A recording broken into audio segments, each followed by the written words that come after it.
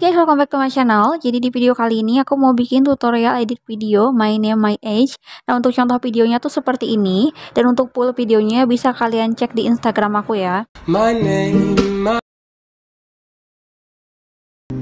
my height, my sign. Do I have it? What's my nationality?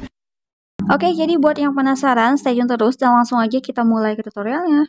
Oke, jadi langsung aja kita buka aplikasi CapCut, pilih yang proyek baru, lalu pertama-tama kalian bisa masukin dulu video detik beat yang udah aku cantumin linknya di deskripsi, nanti kalian bisa download aja.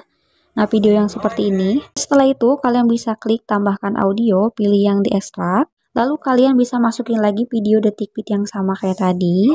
Nah, setelah itu kalian bisa klik lagunya, pilih yang GBG potongan, dan kalian bisa ikutin aja titik kuning yang ada di atas itu. Lalu kalian nanti tinggal klik yang tambahkan irama.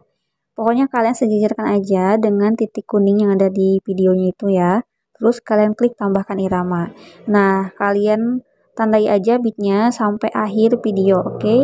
Nah, kalau udah selesai, kalian bisa centang dulu. Terus kalian klik tanda plus yang ada di samping ini. Dan kalian bisa masukin foto kalian. Di sini sebagai contoh aku mau pakai foto dari Pinterest aja. Setelah itu bagian yang video bit ini kalian hapus, lalu bagian belakangnya kalian hapus. Kalau udah kalian bisa ke icon format, pilih yang 9 banding 16 dan kalau fotonya kurang pas kalian bisa zoom sesuai dengan frame-nya. Setelah itu kalian bisa panjangin durasi fotonya sejajarkan dengan durasi lagunya.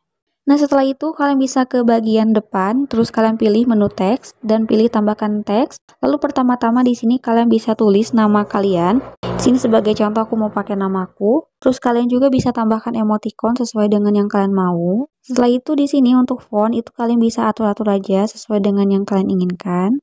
Setelah itu untuk warna, itu juga kalian bisa atur. Kalau udah kalian bisa ke menu yang gelembung dan di sini kalian bisa pilih aja gelembung yang mau kalian pakai. Di sini banyak banget pilihan. Di sini aku mau pakai yang kayak gini aja. Nah, kalau udah kalian bisa atur aja posisinya. Kalau udah, di sini kalian bisa panjangin dulu teksnya itu sampai akhir video.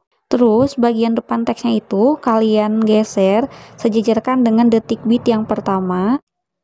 Nah, kayak gini. Kalau udah, teksnya itu kalian salin, terus kalian geser garis putihnya sejajarkan dengan detik bit yang kedua, dan kalian geser bagian depan teks yang di bawah ini sesuai dengan bitnya. Nah, kayak gini ya. Terus kalian bisa edit, klik yang ini, dan kalian bisa ganti dengan umur kalian. Terus posisinya juga kalian bisa atur lagi. Oke, okay, next kalian bisa salin lagi teksnya, lalu kalian geser lagi garis putihnya sejajarkan dengan bit yang ketiga, dan kalian bisa geser lagi teksnya sesuai dengan bitnya itu. Lalu kalian bisa edit, ganti dengan warna favorit kalian. Di sini aku mau pakai emot aja kayak gini. Kalau udah posisinya juga kalian tinggal atur.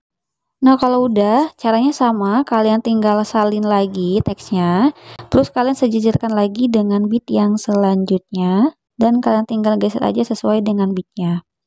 Dan untuk teksnya itu nanti aku bakalan cantumin di samping ya. Biar lebih cepat di sini aku bakalan percepat aja karena caranya tuh sama aja kayak sebelumnya ya, oke? Okay? Nah oke, okay, ini tadi aku udah tambahin untuk semua teksnya dan nanti jadinya bakalan kayak gini. My name, my age, my, jadi kayak gitu ya guys, kalau udah tinggal di save aja klik panah yang ke atas ini. So segitu aja video dari aku. Thanks for watching. Wassalamualaikum warahmatullahi wabarakatuh.